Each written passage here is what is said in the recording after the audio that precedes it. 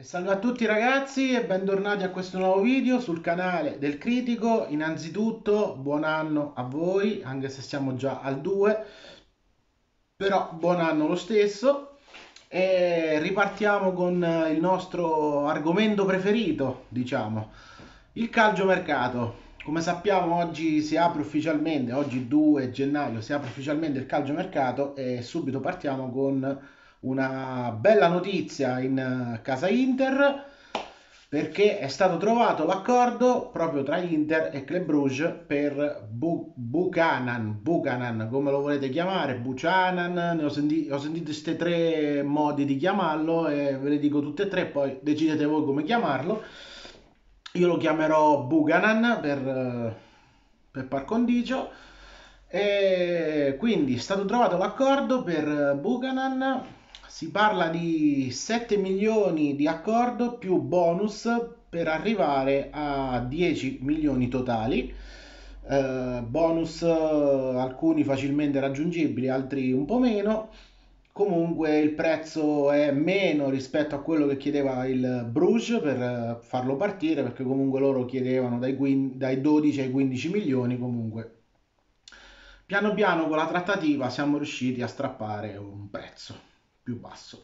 Quindi complimenti alla dirigenza che piazza questo colpo che serviva comunque su, sulla fascia perché come ben sappiamo Quadrado si, si è operato al tendine d'Achille, non sarà disponibile per i prossimi tre mesi.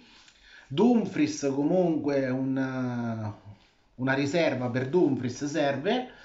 Eh, poi diciamo anche che il rinnovo proprio dell'olandese che tarda ad arrivare e tutto, quindi anche già magari in estate Dumfries potrebbe anche finire sul mercato, quindi è bene già eh, farsi trovare pronti a un'eventuale cessione.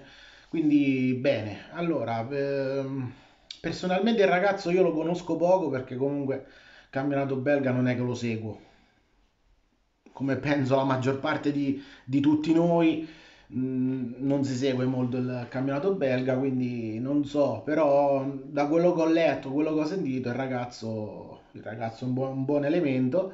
Ogni tanto giro la testa perché sto a vedere notizie di mercato. Eh, il ragazzo può essere un buon innesto su, sulla fascia, comunque può giocare sia da esterno che da ala come da terzino, quindi può ricoprire tre ruoli, che male non è. E comunque i suoi numeri i suoi numeri ce li ha e speriamo che anche il nerazzurro faccia, faccia bene, insomma. Speriamo.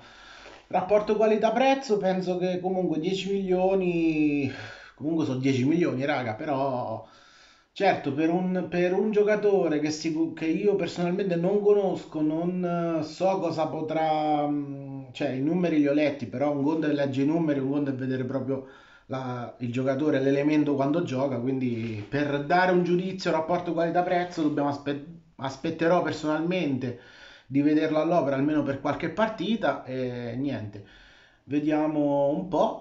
E adesso sarà interessante anche vedere eh, se il mercato si fermerà già qui per noi o se magari eh, ci sarà magari l'innesto in attacco che da mo che lo dico che serve come il pane un attaccante nuovo vediamo la dirigenza cosa vorrà fare perché comunque ci sono sirene americane e sirene arabe per Sanchez però bisogna vedere se lui sentirà già di andare via a gennaio magari se riusciamo a piazzare Sanchez chissà che un colpo in attacco non verrà fatto e vediamo Comunque l'arrivo di Buchanan eh, per ora esclude l'arrivo di Taremi perché comunque sono entrambi extracomunitari, quindi posto, l'ultimo posto da extracomunitario che aveva l'Inter lo prende lui, quindi per il momento Taremi non, non si potrà prendere a meno che, ripeto, non vada via Sanchez che libererebbe il posto.